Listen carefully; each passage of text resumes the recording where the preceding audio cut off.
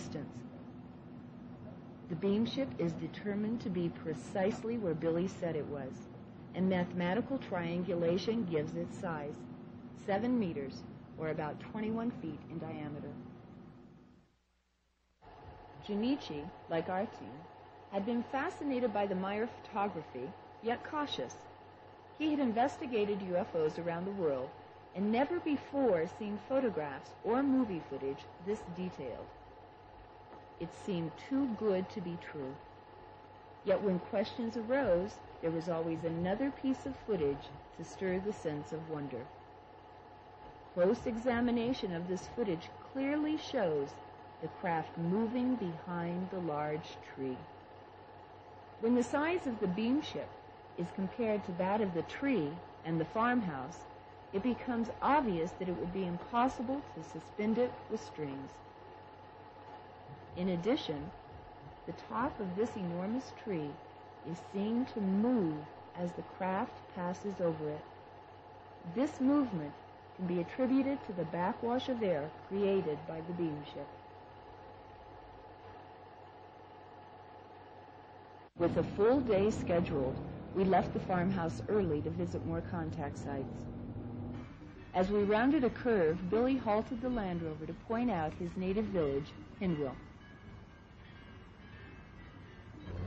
As the cameraman began to film the valley, sounds of a small aircraft could be heard over the natural sounds of the Swiss countryside, and another mystery begins to unfold. Wanting to re-examine the site at Hassenbull, Junichi and his crew begin lining up Billy's shots with the natural landmarks in the area. But as he begins the interview, the mysterious airplane returns, ruining the soundtrack and forcing a decision to move on to the next site, Schmarbuhl. After two hours of driving, we reached the village of Schmarbuhl. Filming had just begun when Junichi interrupted the interview. Is that um, And there's a, you know, sign, there's a airplane out there. A train that uh, every time we take a picture, we take a videotape, you know, the airplane kind. always are airplanes around? No, Yeah. I don't know that. yeah, what's watching us.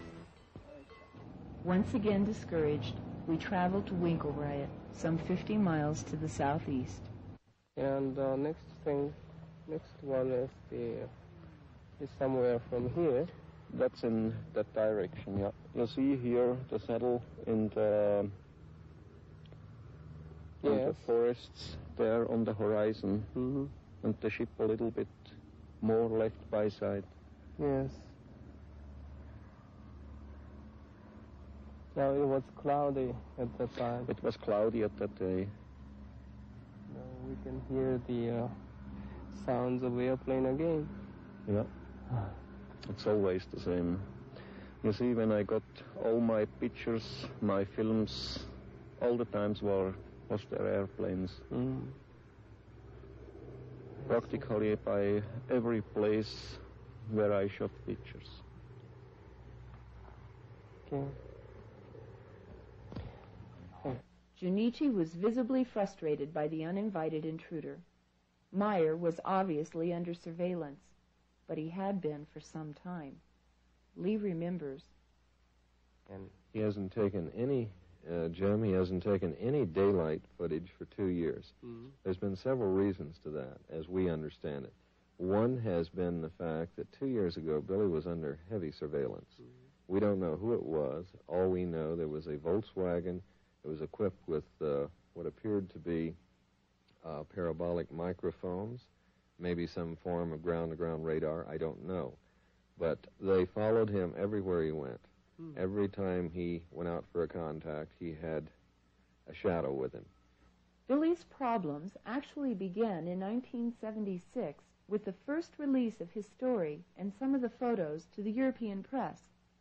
Soon, every major magazine and newspaper featured an article on Billy Meier.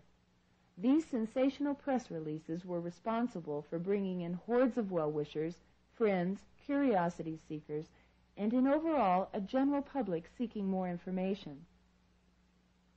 But it also attracted the negative element. After a close call on his life, Billy armed himself and became less trusting. So uh, finally, uh, he just quit. They stopped having contacts in daylight hours, and they moved them up early evening, and eventually they went into the early wee hours of the morning. Herbert Runkel recalls one such event. It was uh, near Hinwil. It was in the night, near one o'clock in the morning, and Billy was going to a contact, and Semjase told him that after the contact she will give a demonstration for the people, and when the contact was finished, uh, we can see there are many other people also stay there. We can see the ship is rising out of the wood going to the sky, stopped. It was a dark red light, mm-hmm. and then stopped, going to the right, going to the left. And I have a camera with me, a Super 8 movie mm-hmm. camera, mm-hmm. and I tried to get it in the objective, but I was so nervous. Uh, also present at the demonstration was Hans Schutzbach. He too was nervous, but he did manage to take this interesting night footage. Here the beam ship jumps, as was described by Herbert earlier, becoming brighter, then disappearing. Some of the best stills taken during the demonstration belong to an Austrian man, Guido Moosbrugger. Another photograph he took that evening was even more intriguing. Guido's daughter, Anita, holds the picture as he traces the distinct outline of the beam ship. Guido's photo remained an oddity until a few months later when a second unusual photograph appeared. Wendelle explains. A stranger seeing somebody off on an airliner at Kloten Airport here in Zurich had simply taken a picture of the airliner with a Polaroid camera. When the picture came out of the camera, this is what she got. She put it in an envelope with a note saying that this thing happened at the airport. She didn't know anything about these things, and she didn't want anybody to know who she was. And she put it in an envelope and mailed it to the newspaper with no return address. Mm-hmm. The newspaper published the picture, inviting her to get in contact with them so they could pay for it. But the picture is unique because it has a similar space-shaped spacecraft. It has a field around it and an expanded field here. Mm-hmm. The picture was taken to a local photo photography shop.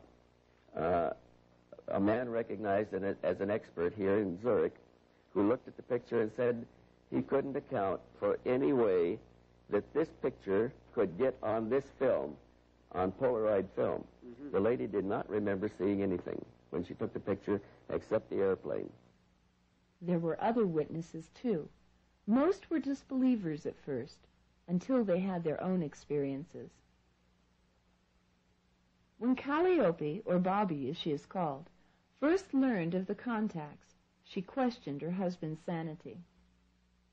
In 76 im Juni. 545. Ist das?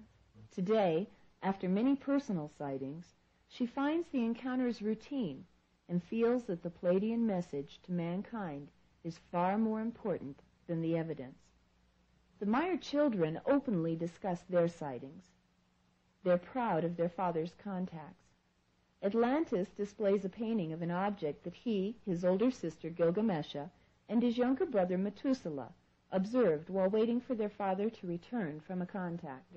Und dann, dann, und er geflogen, ist es so rüber, dann wieder so, und dann ist es ausgegangen. Jacobus Bertschinger works on the farm and has witnessed many things. gsi, hat sich tiptop zweck gemacht. Nachdem, dass er wieder retour gekommen ist, nach 20 Stunden, das erste, was mir aufgefallen ist, als er heimgekommen ist, hat er so einen richtig fünftägigen Bart gehabt. Displaying an artist's sketch that illustrates one such experience, he shrugs the numerous daytime and evening events off as no big thing. Engelbert Wachter and his wife Maria were drawn to the case by a magazine article that appeared in Switzerland. Wir sind,